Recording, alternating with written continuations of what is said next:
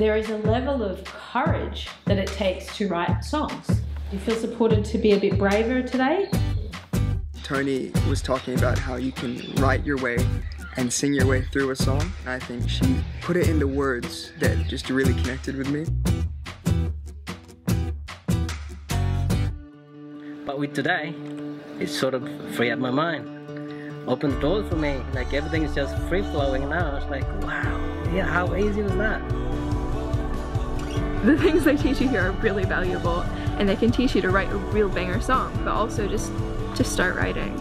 Anybody's looking, maybe I want to do it, maybe I don't, absolutely do it. It is one of the best experiences for you as a songwriter to develop your skills and get to know yourself better. And take us to the ocean. I see you. What a fabulous night it was tonight. I'm so privileged to be here.